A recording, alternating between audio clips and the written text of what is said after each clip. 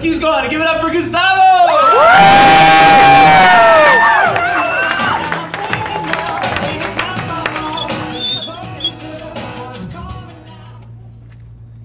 How's everybody doing? Alright, alright. Oh, okay, here we go, here we go. We all got five senses, right? Seeing, smelling, feeling, touching. What Hearing, there we go, that was the.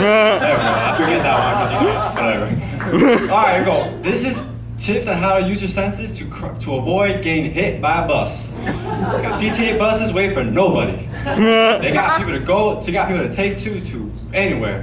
Here we go. If you have a Blackberry, if you're poor, if you have a Blackberry, and um, and if you happen to be looking down on there in a busy intersection, you have this hearing. You can hear the bus. It goes like this.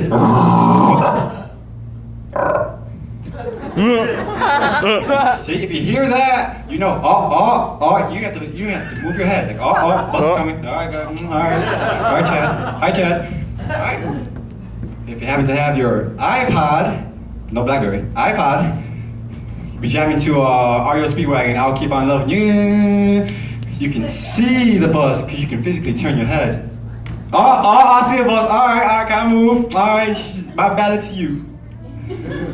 Alright, and if you happen to smell the bus, because the CTA bus has a certain smell, diesel mixed with charcoal. because CTA likes to kick it old school. So, if you, if you smell it, oh, oh, yeah, alright, I turn around. Alright, you, you bad, you, uh huh, you do it, 35th, you do it. And, uh, your sense of feeling. This gets tricky because the bus goes 35 to 65 miles an hour on a school zone. So, so to, to do this, to, to do this, you have some sort of thinking involved. So you gotta put your hand out when nobody's looking, and if you feel something, you have, you have like a split second to realize. Bus! Ah! Yes! you saw that? No?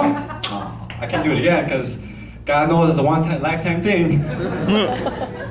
if you happen to taste blood in your mouth, well, ladies and gentlemen, you just got hit by a bus. and on top of that, you're that guy, you're that bastard who made everyone late for work.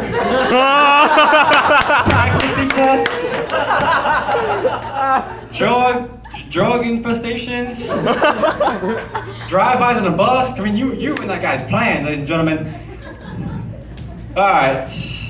We all have annoying people, right? Annoying people. Some of you want to sock them in the face, but you can't because it's against the law.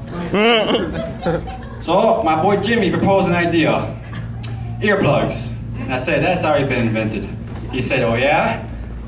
How about Glock earplugs? You know, built-in guns earplugs." See, this is a double standard. If you can't hear them, you live. If you can't hear them, you die. So my boy Jimmy tested it out. He put them on. I was over here, about five feet away.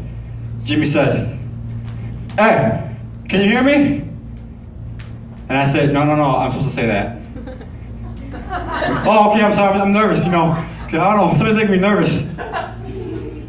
It's okay, man. It's okay. I'm not the one who invented that idea. I feel no remorse. Uh, can you hear me? Yes.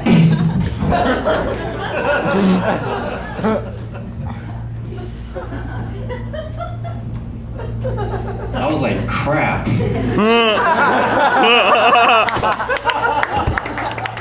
now I have to deliver a eulogy for this guy.